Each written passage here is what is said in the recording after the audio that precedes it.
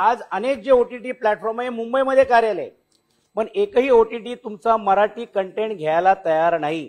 म्हणजे अगदीच नेटफ्लिक्समध्ये जर बघितलं असेल तर ते हिंदी आहे उर्दू आहे त्यापेक्षा तेलगू आहे तामिळ आहे कर्नाटक आहे पण मराठी तो घ्यायला तयार होत नाही.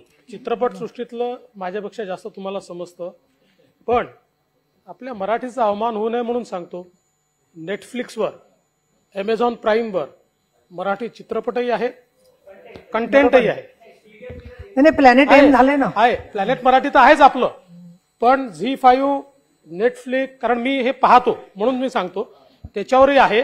आणि सरकारच्या मदतीने नाही स्वतःच्या हिमतीने मराठी सिनेमे किंवा मराठी कंटेंट हे या ओटीटी प्लॅटफॉर्मवर आले.